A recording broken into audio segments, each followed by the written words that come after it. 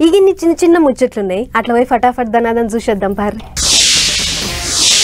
మొన్న ఆదిలాబాద్ జిల్లా భీంపూర్ మండలం దిక్కు తొవ్వబాలేక అరవై ఊర్ల జనం అరిగోసలు పడుతుర్రు అని వార్తలేసినాం కదా.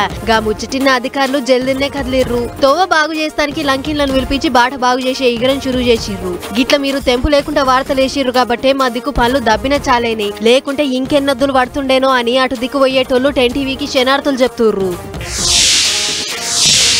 మీది బాజు కించి తెంపు లేకుండా వస్తున్న వరదకు భద్రాచలం కాడ గోదావరి రుబడి అంతకంతకు పెరుగుతుంది యాభై మూడు అడుగులకు చేరేటొరకు అధికారులు ఇప్పటికే మూడో ప్రమాదం హెచ్చరిక చేసిర్రట. పీనపాక మండలంలో ఉన్న శాన ఊర్ల దిక్కు పంటలన్నీ నీళ్ళలో మునిగినాయి. ముప్పై కుటుంబాలను మంచి జాగలకు పట్టుకుపోయిర్రట.